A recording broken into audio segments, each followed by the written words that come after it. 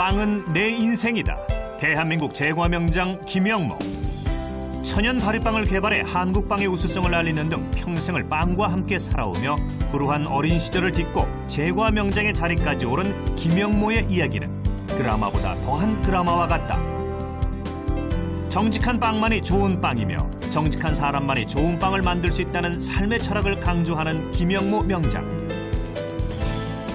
대한민국 명장회 명예회장을 맡으며 후학 양성에도 힘을 쏟고 있는 이 시대 최고의 명장인 행복한 제빵왕 김영모를 만나보자.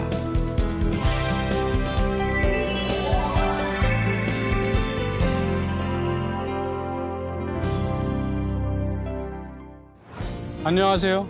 이재만의 성공 스토리 만남 변호사 이재만입니다. 어떤 일을 10년 동안 꾸준히 하면 전문가가 되고 20년을 하면 따르는 이들이 생기고 30년을 하면 자기를 앞서는 사람이 없다고 합니다. 40년 이상 제과 제빵업계에서 일가를 이루고 천년 기업을 꿈꾸는 진정한 제빵왕 김영모 대표. 오늘 성공 스토리 만남의 주인공을 만나보시죠.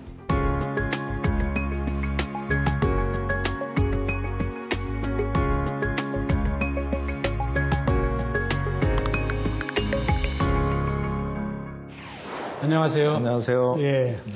이곳이 대한민국 명장 김용모 아카데미인데요. 네네. 소개 좀 해주시죠. 아, 여기는 이제 그 저희 명장 아카데미로서요. 제가 부분에 에, 그 아이들을 훈련시키는 그런 에, 곳입니다. 아, 그럼 주로 여기서는 어떤 학생들이 와서 교육을 받나요? 어, 일학습 어, 근로자들이 주로 이제 교육을 받고 있고요. 또 재직자 교육도 지금 하고 있고 그렇게 하고 있습니다. 그럼 여기 과정은 어느 정도 되나요? 뭐 2년제입니다. 아, 2년 예, 과정이고. 그래서 어, 일주일에 이틀은 이틀은 여기에서 어, 이론 교육과 기초 훈련을 어, 교육 받고요. 나머지 3일은 현장에서 어, 직접 일하면서 어, 그 생산에 참여하면서 기술을 배우고 있습니다. 아, 그럼 이제 말하자면 학습 근로네요. 예, 학습 근로자들입니다. 그렇다면 그 여기 아카데미를 졸업하면 네. 그러면 대부분 다 취업이 되나요?